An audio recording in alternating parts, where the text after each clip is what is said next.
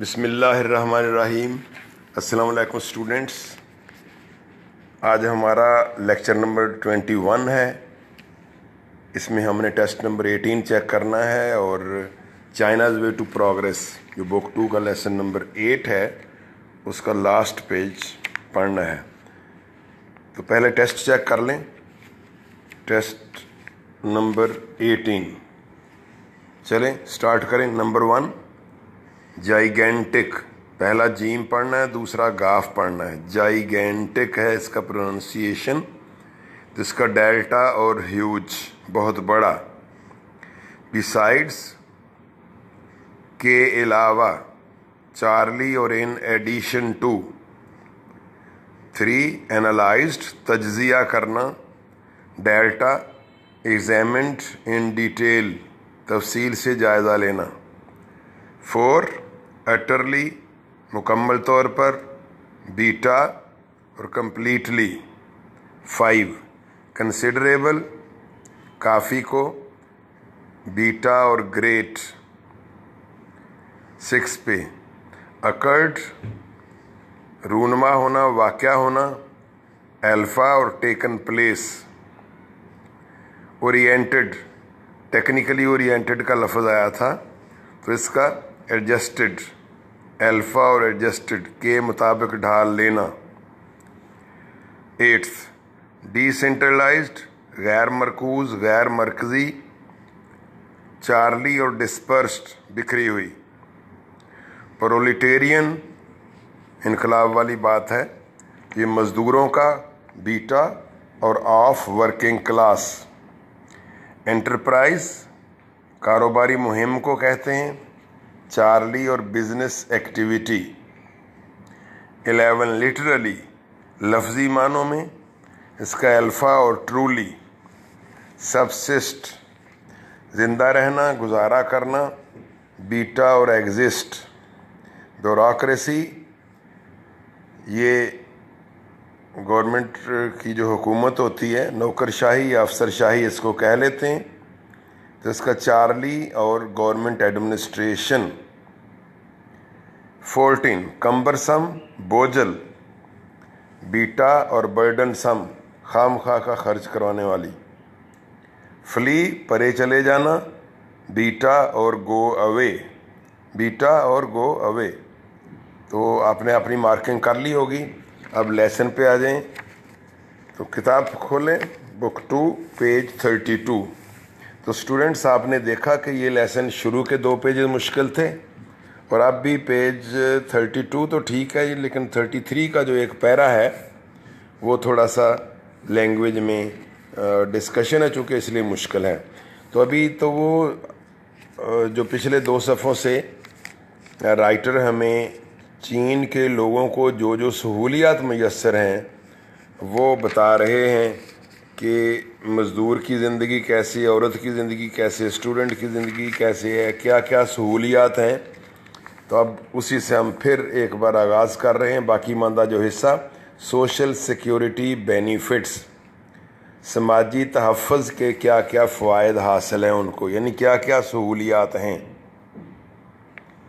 हाँ जी, पढ़ें जी, the monthly cost of living is officially calculated for every region of the country. Monthly cost महाना लागत officially सरकारी तौर पर कैलकुलेटेड कंप्यूटेड हिसाब किताब लगाया गया है फॉर एवरी रीजन हर इलाके के लिए तो हर इलाके के लिए माहाना जो खर्च है रहाइश का खाने पीने का वो अलग अलग हिसाब किताब सरकारी तौर पर किया गया है। मसलन इस्लामाबाद का ख़र्च और होगा, लाहौर का और होगा, और आपके जजाबासियाँ का और होगा। तो इस तरह हर तरह से हर इलाके का अलग अलग सरकारी तौर पर ख़र्च का अंदाज़ा लगाया गया है। इन पीकिंग फॉर एग्ज़ाम्पल, मसलन पीकिंग में it was recently quoted at 12 to 14 yuan a month. Recently हाल ही में कोटेड हवाला दिया गया था cited C I T E D alluded to yuan उनका सिक्का है। तो मसलन पीकिंग में ये कहा गया है, हाल ही में कि पीकिंग में ये ये जो अखराज है महाना, ये 12 से 14 युवान हैं। ब्रैकेट में, उनको डॉलर्स में कन्वर्ट किया गया। 4.8 टू 5.6 डॉलर्स ये बनते हैं। ऑफ़ विच जिसमें से या जिन में से ऑफ़ का माना यहाँ में से ten go towards board दस युवान रहायश के अखराज बोर्डिंग हाउस बोर्डिंग के लिए चले जाते हैं। रहायश नहीं बोर्ड के लिए, जो सरकारी बोर्ड इनकी रोटी छोटी दीगर चीज़ों का इंतज़ाम करता है।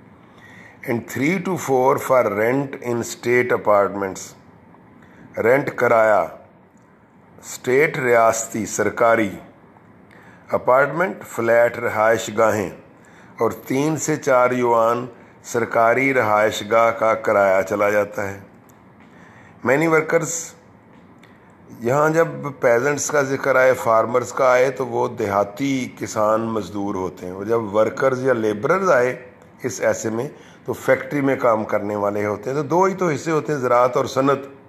तो उनके लिए अलग अलग लफ्ज़ यूज़ हो रहे हैं। Many workers are also housed within the factories बहुत सारे मज़दूरों को फैक्ट्रियों के अंदर ही रहायश मिल जाती है।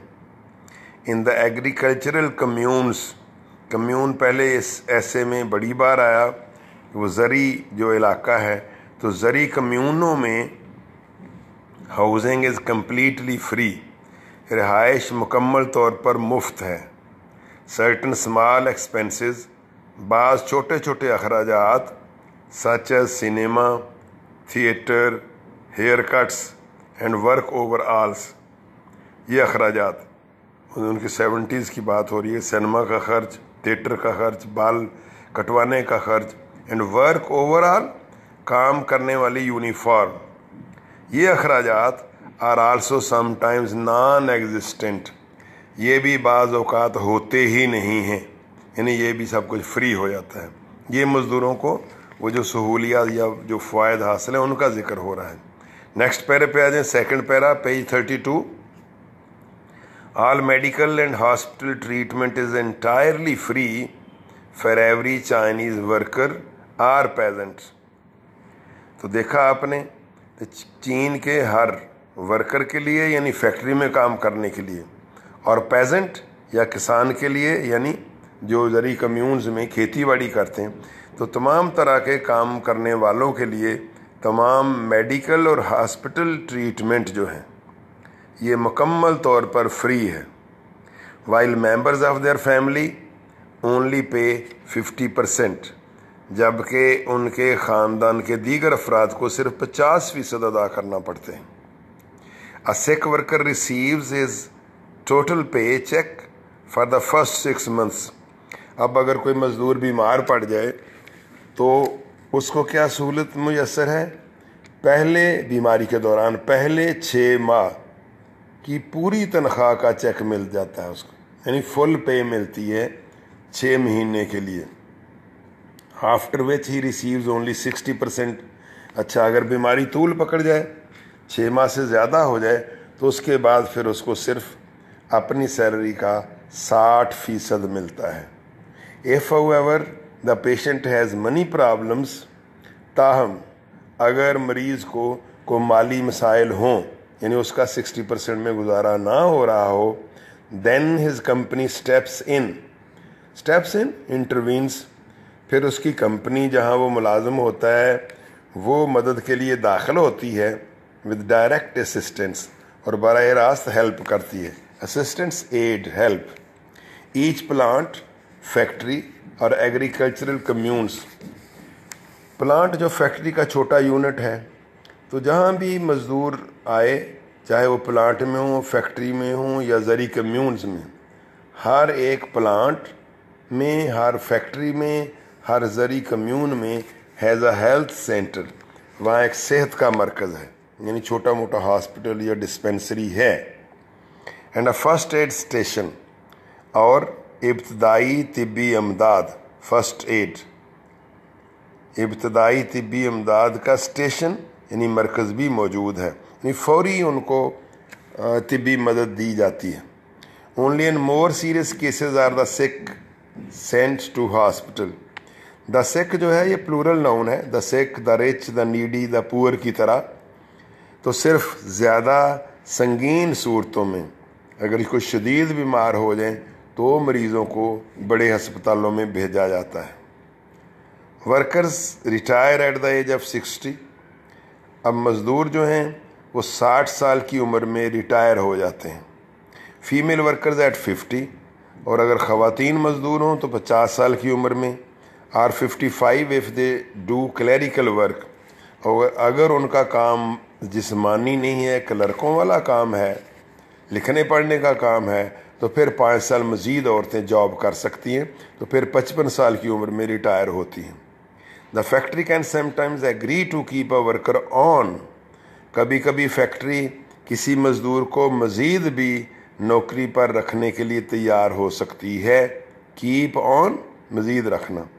After he has passed retirement age retirement की उम्र गुजर जाने के बाद भी मसलन उसकी पचास, पचपन या साठ साल हो गई है और कंपनी महसूस करे कि इसकी सेहत अच्छी है या इसके काम की हमें शदीद ज़रूरत है तो वो मज़ीद भी कुछ सालों के लिए उसकी खदमात हासिल कर सकती है।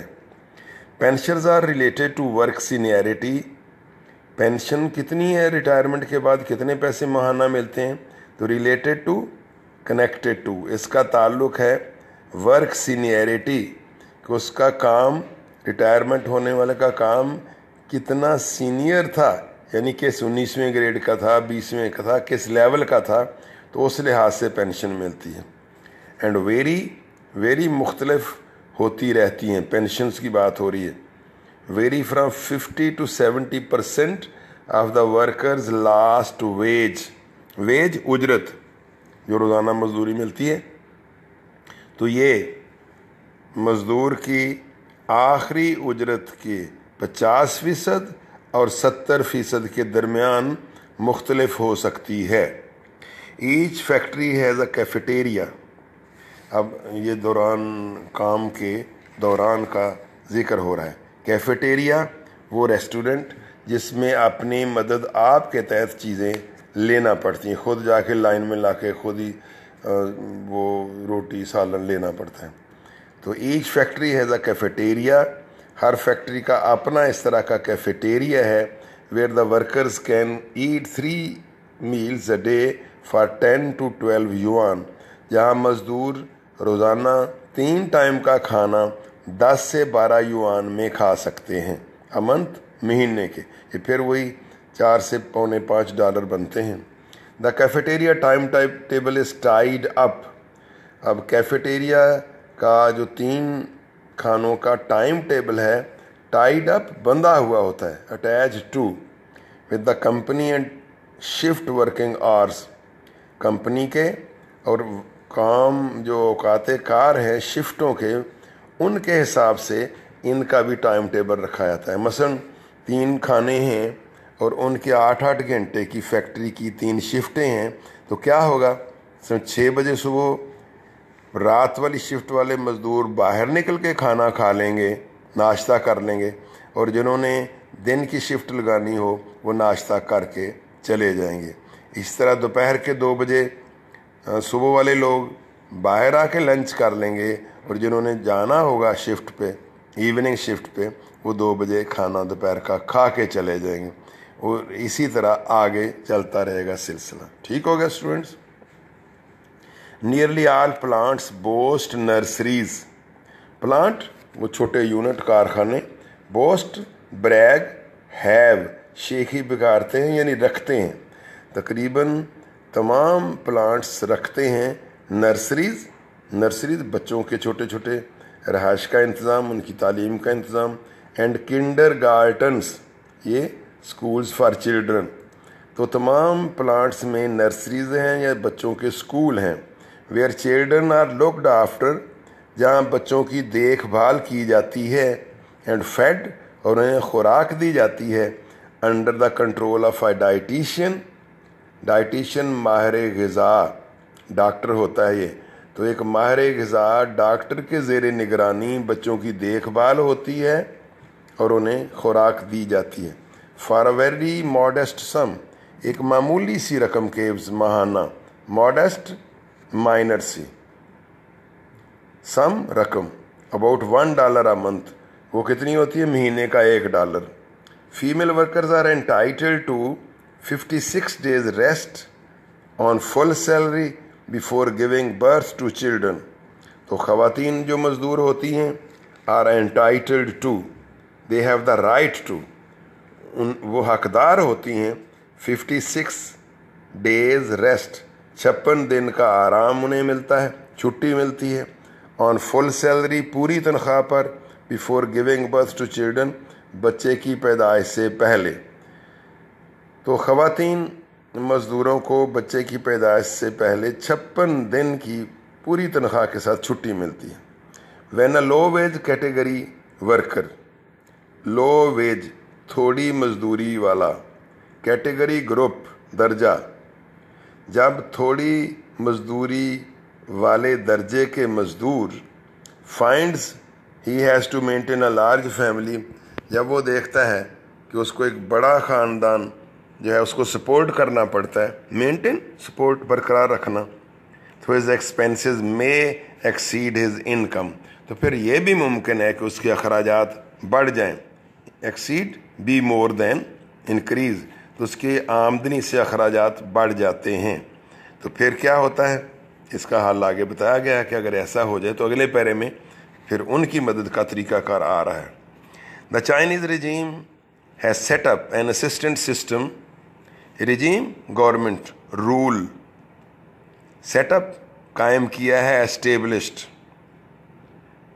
असिस्टेंट सिस्टम इमदादी प्रोग्राम गारंटिंग जो यकीनी बनाता है ascertaining assuring minimum subsistence level minimum कम से कम सब्सिस्टेंस लाइवलीहुड गुजारा लिविंग सर्वाइवल तो चीनी हुकूमत ने ऐसा इमदादी निज़ाम सेट किया हुआ है, जो किसी की भी ज़िंदगी के लिए, ज़िंदा रहने के लिए, उसकी ज़रूरियात पूरे करने के लिए कम से कम सतह की आमदनी का तयन किए हुए है।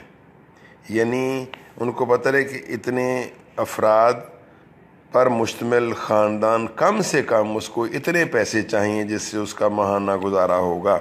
अगर उसकी तनख्वाह कम है तो अब उसको मदद भी दी जाती है। यानी किसी को एक दूसरे पर डिपेंड करने की ज़रूरत नहीं। हुकूमत ने सब इंतज़ाम कर रखा हुआ है। The company where the worker is employed ये उस सवाल का जवाब है जो पहले पैरे में आया था कि अगर उसका ख़ानदान बड़ा हो तो उसके अखराज तो उसकी इनकम से बढ़ जाते हैं। तो अब चूँकि चीनी हुकूमत ने अमदादी तनजीमें बनाई हुई हैं तो अब फिर the company where he where the worker is employed then intervenes intervenes steps in मुदाखलत करती है सपोर्ट्स फिर जहाँ वो मज़दूर मुलाजिम होता है, वो ख़ुद मुदाखलत करती है and raises his salary to equal the cost of living तो उसकी तनख्वाह बढ़ा देती है, जिससे वो उसकी कास्ट ऑफ़ लिविंग के बराबर उसकी तनख्वाह कर दी जाती है। तो ये है उनका तरीक़ेकार। The commune deals with those peasants. अब इसी तरह से जो देहाती कम्यून है वो डील्स विद दोज पेजेंट्स वो उन किसानों से निपटता है having wages that are too low जिनकी उजरत थोड़ी हो, बहुत ही कम हो or who are unable to maintain their family या जो अपने ख़ानदान को बरकरार रखने सपोर्ट करने के काबिल ना हों owing to physical handicaps owing to की वजह से because of on account of physical handicap handicap disability रुकावट यानी कोई मजूर है टांग टूट गई कोई और मसला हो गया तो ये अब देहाती किसानों की बात हो रही है तो कम्यून खुद ऐसे लोगों से निपटता है उनकी मदद करता है जो फिज़िकली हैंडीकैप्ड हो गए हों उनकी इनकम कम हो ख़ानदान बड़ा हो it use money from a specially constituted fund तो कम्यून फिर क्या करता है? एक स्पेशली कॉन्स्टिट्यूटेड फंड है। कॉन्स्टिट्यूट बनाया हुआ सेटअप एस्टेब्लिश्ड तो एक ख़ास बनाए हुए फंड से फिर ये कम्यून पैसा इस्तेमाल करता है। Comprising two percent of the community's annual wage ये फंड कंप्राइजिंग मुश्तमिल होता है। Of two percent of the community's annual wage पूरी कम्युनिटी के सालाना जो उजरतें होती हैं उसके दो फ़ीसद पर। यानी अब आपको स्टूडेंट समझ जाना चाहिए कि जो तमाम तंदरुस्त मज़दूर हैं, वो दो फ़ीसद की कटौती करवाते हैं, अपने अपनी उजरतों से, तनख्वाहों से।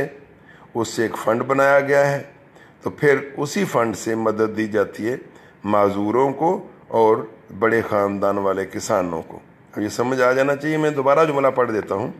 It uses money from a specially constituted fund फिर ये कम्यून एक ख़ास तौर पर तरतीब दिए गए फंड में से मदद लेती है, उसमें से पैसा खर्च करती है। Comprising two percent of the community's annual wage जो उस मुआशरे, यानी कम्यून से कम्यूनिटी हाँ जी स्टूडेंट्स ये ब्रेक हो गया था तो two percent of the annual wage community के जो सालाना उजरत होती है, उसका दो फ़ीसद इस फंड में डाला जाता है तो इससे फिर मदद ली जाती है। These assistant schemes in reality हकीकत में ये जो इमदादी स्कीमें होती हैं आर रेयरली शाजो नादरी रिजल्टेड टू इनकी तरफ़ रुजू किया जाता है, सहारा लिया जाता है। यानी इनको चाराकार के तौर पर इस्तेमाल नहीं किया जाता। इमदादी स्कीमें ज़रूर मौजूद हैं, लेकिन वो खुददार लोग हैं। आगे जवाब आ रहा है because the family nearly always has more than one source of income क्योंकि एक ख़ानदान का तकरीबन हमेशा ही एक से ज़्यादा ज़रिया रोज़गार होता है। Industrial working hours are eight hours a day सनतों के अवकात कार यानी फैक्ट्रियों में जो अवकात कार हैं, वो आठ घंटे रोज़ाना है सिक्स डे अ वीक हफ़्ते में छः दिन leaving one day's holiday a week हफ़्ते में एक दिन की छुट्टी होती है सातवां दिन नॉट नेसेसरीली संडे ज़रूरी नहीं वो इतवार की छुट्टी हो। Normally there is one week's annual vacation आमतौर पर मज़दूरों के लिए सालाना एक हफ़्ते की छुट्टी भी हो जाती है। Two weeks if the worker lives far from the family और अगर वो मज़दूर ख़ानदान से कहीं दूर रहता हो, कराची वगैरह ऐसे तो ये दो महीने, दो हफ़्ते की छुट्टी मिल जाती है।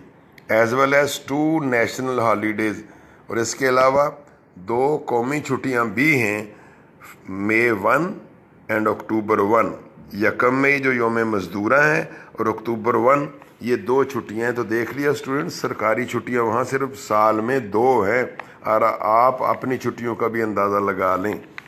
तो ये मज़दूरों की पूरी तफसील थी क्या क्या फ़ायद हासिल हैं क्या क्या सहूलियात हैं उनकी। अब आगे थोड़ा सा तबसरा आ रहा है, जो थोड़ा मुश्किल होगा। There are two opposite worlds just as the two ways of considering China's future are opposite दो मुख्तलफ़ दुनियाएँ हैं।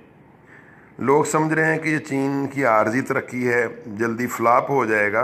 तो मुसनफ़ कह रहे हैं कि ये दो मुख्तलिफ़ दुनियाएँ हैं, जिस तरह के चीन के मुस्तबिल को देखने के लिए भी दो मुतजाद नुकता निगाह हैं। One is the rigid world of figures एक तो है कि अदाद शुमार की बड़ी सख्त दुनिया। इतनी इनकम, इतना खर्च, ये, वो, ये ये वही दिल के लिए मौत मशीनों की हुकूमत वाली बात है कि पैसा बढ़ाते चले जाएँ जीएनपी में इजाफा चले, करते चले जाएँ। ये वेस्ट वालों का कॉन्सेप्ट है। मैं अभी थोड़ा सा ये पैरा पढ़ाने से पहले बता दूँ कि ये दो मुख्तलिफ़ दुनियाएँ क्या हैं इस पर।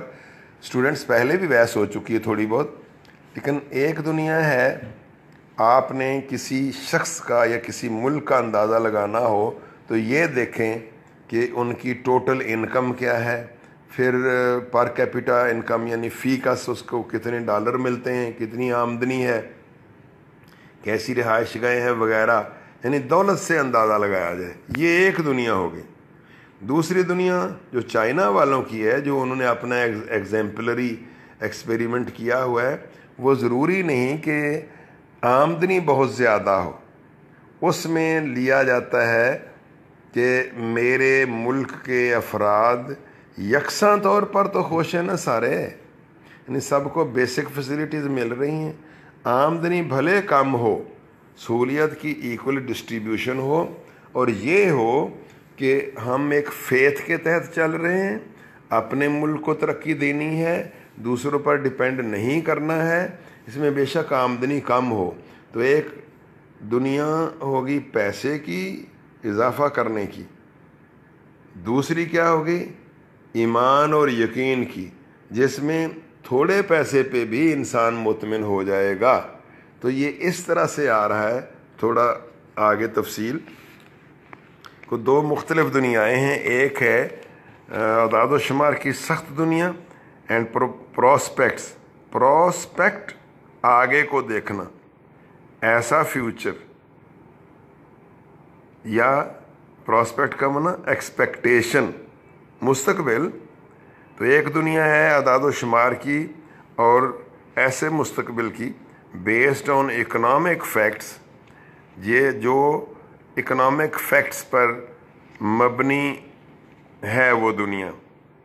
इकोनॉमिक फैक्ट्स मुआशी हकायक as seen in by the West जिस तरह के मगरब वाले देखते हैं तो मगरब वाले तो यही देखते हैं। कि अमेरिका, बरतानिया, जर्मनी, फ्रांस की इतनी, उनकी टोटल इनकम है, उनका बजट सालाना इतना बनता है, इतनी फ़ी का आमदनी है तो ये मुल्क तरक्की याफ्ता हो गया।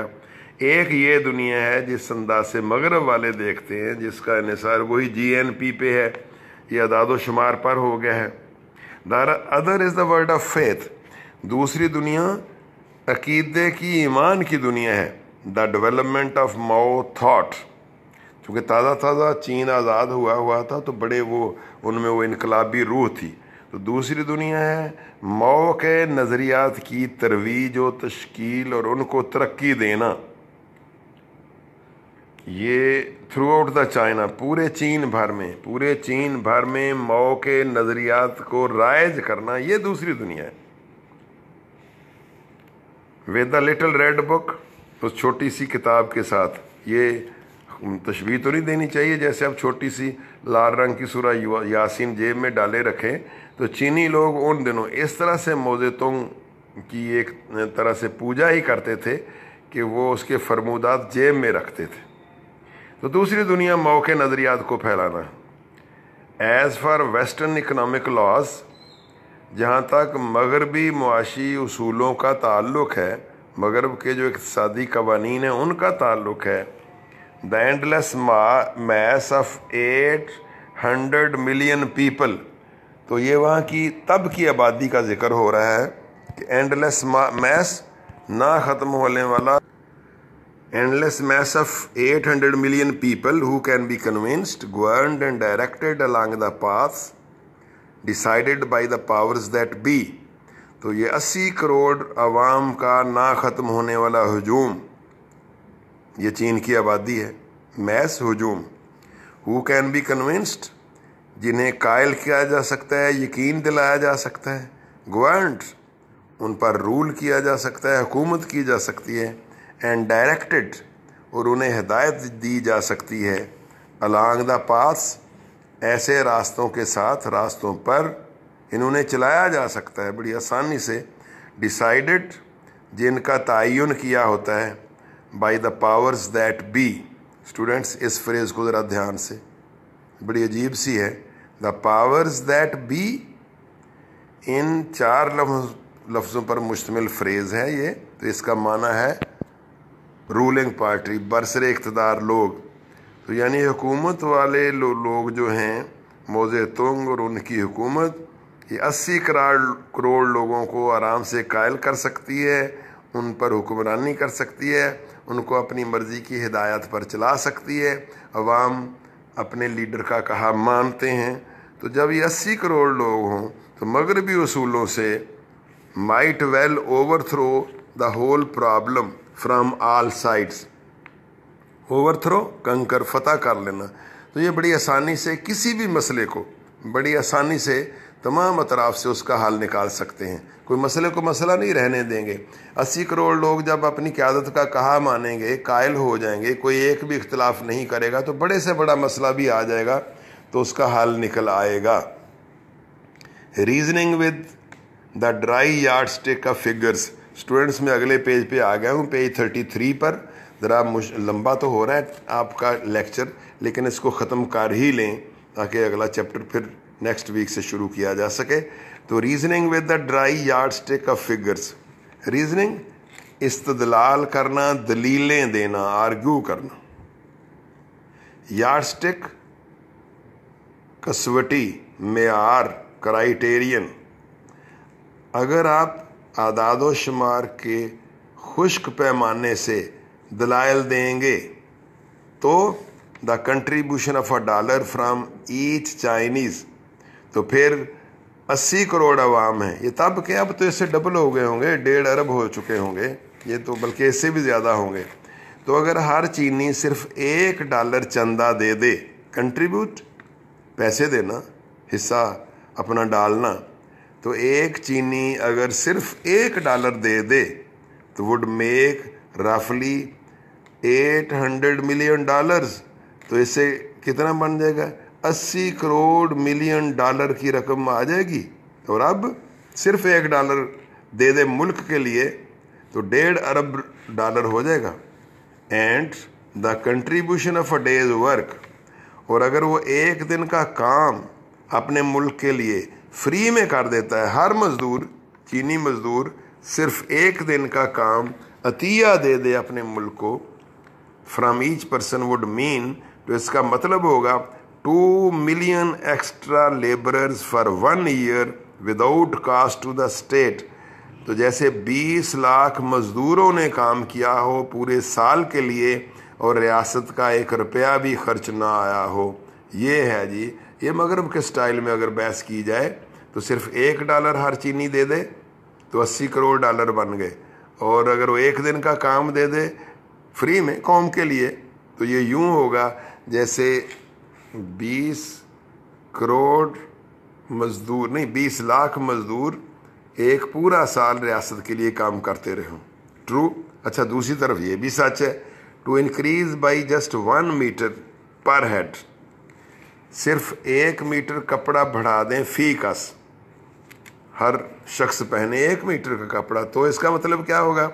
The availability of cloth for even as few as seven hundred million Chinese तो चलो हम जो वन हंड्रेड मिलियन वो बूढ़े छोटे बच्चे समझ लें तो सेवन हंड्रेड मिलियन चीनियों के लिए भी सत्तर करोड़ आवाम के लिए कपड़ा मुहैया करना अवेलेबिलिटी दस्तियाबी मुहैया करना you would need enough cloth आपको इतना कपड़ा चाहिए होगा to go round the world eighteen times जैसे दुनिया के अठारह चक्कर लगा लिए हों। यानी सिर्फ़ एक मीटर कपड़ा अगर हर चीनी इस्तेमाल करना शुरू कर दे तो इसका मतलब ये होगा कि इतना कपड़ा चाहिए कि ज़मीन के गिरद अठारह चक्कर लग जाएँ। While the purchase of a million and half ton of grain million दस लाख और हाफ़ पाँच लाख, जबकि पंद्रह लाख टन अनाज, एक टन कितना होता है तकरीबन? साढ़े सताईस अट्ठाईस मन का। तो आप अंदाज़ा लगा लें कि पंद्रह लाख टन अनाज की खरीद is only sufficient to feed the Chinese population for five days sufficient काफ़ी। तो चीनी लोग सिर्फ़ पाँच दिन में इसे खा जाएँगे। ये तब की बात हो रही है जब आबादी अस्सी करोड़ थी। तो ये अगर आपने अदाद शुमार से ही करना है तो फिर इस तरह से ही होगा। मगर भी अगर लॉ अप्लाई करेंगे तो एक डॉलर के इजाफे से एक मीटर के इजाफे से क्या होगा? आप तफसील देख आए। द फैक्ट रीमेन्स खूबसूरत जुमले हैं। ये हकीकत अपनी जगह कायम दायम रहती है that when the number is not simply juxtaposition of person student तवज्जो से समझिएगा। Juxtaposition putting side by side साथ साथ रखना को लोकेशन कि जब ये तादाद जो है ये सिर्फ़ अफराद का साथ साथ रखना ना हो। यानी अगर इतफाक़ नहीं है तो चालीस अफराद भी साथ साथ खड़े हैं, अजनबी हैं तो कोई फ़ायदा नहीं, फूट पड़ जाएगी। लेकिन अगर वो एक मकसद के लिए कोऑपरेशन के ज़रिए तावन कर रहे हैं तो जैसे कहा जाता है कि एक अकेला, दो, ग्यारह तो फिर वो एक कुत बन जाते हैं। इसी की तरफ़ अब इशारा हो रहा है कि जब अफराद महज एक दूसरे के करीब ना बैठे हों जब तादाद से मुराद सिर्फ़ मुख्तलिफ़ तरह के अफराद को यकजा कर देना ना हो बट अ कॉम्पैक्ट होल बल्कि वो एक ठोस कुल हो। यानी जितनी अस्सी करोड़ की आबादी है, ये अलग अलग अफराद ना हो, ये एक इकाई का नाम हो। एक इकाई का नाम हो कॉम्पैक्ट गुंदा हुआ सॉलिड होल कुल। तो then it tends to be become a power tends to mile होना।